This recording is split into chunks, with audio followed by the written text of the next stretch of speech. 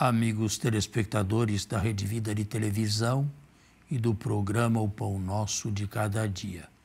Hoje celebramos o 19 domingo do tempo comum. O texto evangélico de hoje, tirado de Lucas, é um convite a uma vida toda entregue nas mãos de Deus a uma vida sem estresse desnecessário, a uma vida de confiança e de abandono. Qualquer coisa que nos aconteça, nós temos conosco o melhor aliado, Jesus Cristo, o Santo de Deus. A seguir, o texto fala da vigilância que o cristão deve possuir e viver.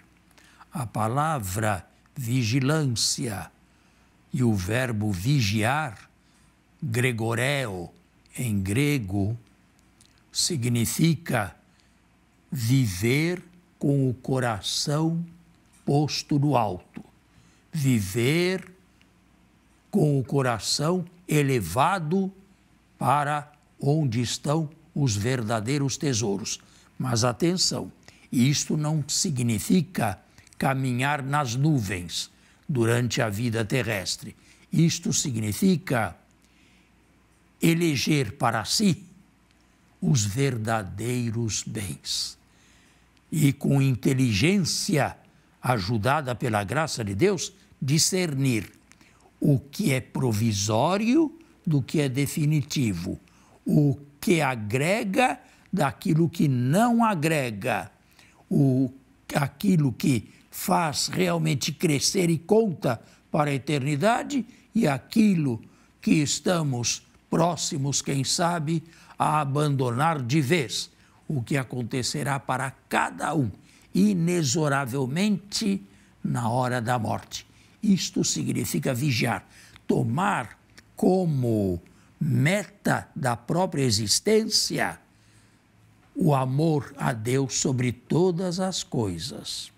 O amor ao próximo, humilde, amor serviçal, considerando os demais, é São Paulo quem o diz, não sou eu, superiores a mim. Viver a vigilância significa ouvir diariamente a palavra de Deus, ruminá-la como Maria no próprio coração. Esta é a ciência verdadeira. Mas apenas, é preciso acrescentar, apenas os santos de Deus, ou aqueles que buscaram com a graça Deus a sério na própria vida, possuíram ou possuem ainda.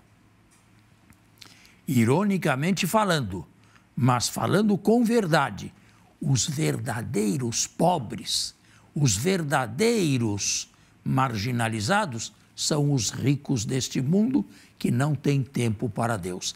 Eles trocaram o definitivo pelo provisório. Eles trocaram as riquezas de Deus pelas riquezas do mundo.